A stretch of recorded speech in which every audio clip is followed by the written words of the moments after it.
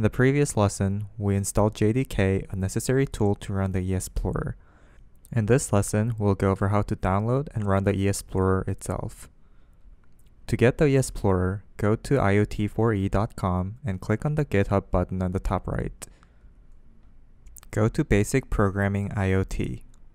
Click on the ESPlorer.zip and click on Download. Save the file on your computer. Right-click on the saved file, extract, and go to the ESPlorer folder. Here you can find the ESPlorer.bat file and ESPlorer.jar file. There are two ways to run the ESPlorer. The first way is to double-click on the ESPlorer.bat file, and another way is via the command prompt. Open the command prompt and navigate to where the ESPlorer.jar file is. To navigate through directories in the command prompt, type cd and name of the folder to go to, then enter.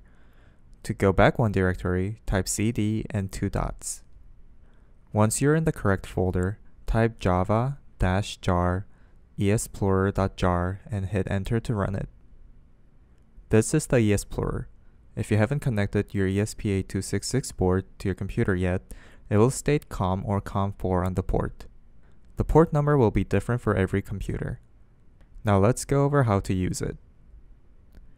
First, connect your ESP8266 development board to your computer and run the ESPlorer.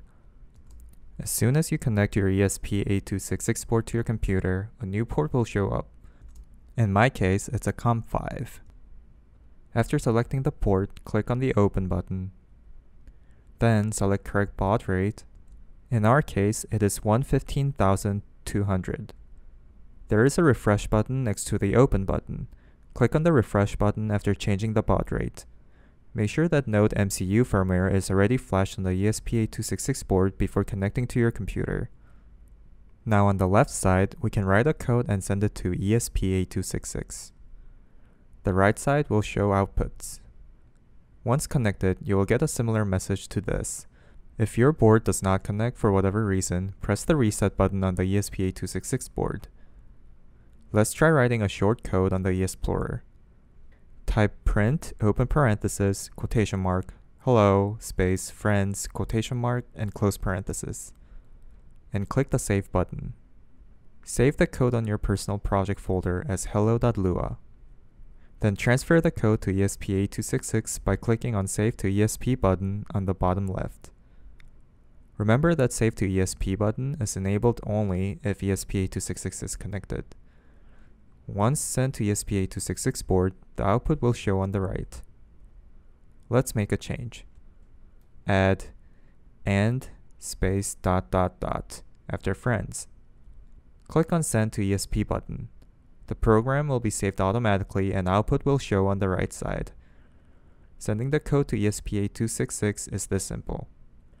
There are many buttons that we don't need to know right now, but let's go over the three in the yellow box. Reload button, once clicked, will display another button with the name of our file and show the information about our program on the output console. If we had more program in our board, it would have shown a button for each of the program and list all on the output as well. As you can see, there is only one file on the ESP8266 at the moment.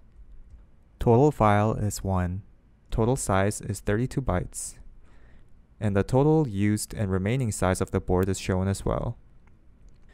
Clear the console, right-click anywhere on the output console and click Clear. Then click on the hello.lua button. This will run the hello.lua program. Clear the console again and click on the fs info button. This will only show you the total used and remaining bytes of the board. The Format button removes all the file from the ESP8266 board. Next, let's talk about the drop-down on the bottom. If you click on the small arrow button on the bottom right, it will show you a list of commands. Click on the do file command. Type hello.lua in between quotation marks and click on the send button. This will run the hello.lua program. Let's try another command. Click on the file.remove command. Type hello.lua in between quotation marks and click on the send button. This command removes the file from ESP8266. Click on the reload button. You will notice that the board is empty. It means hello.lua file was successfully removed. Then, click on the Reset button on the bottom to reset the connection to ESP8266 board. This is how we will communicate with the ESP8266 board going forward. In the next lesson, we'll go over basic programming on ESP8266 development board. If you have any questions, let us know on the IoT4E community board. Thank you.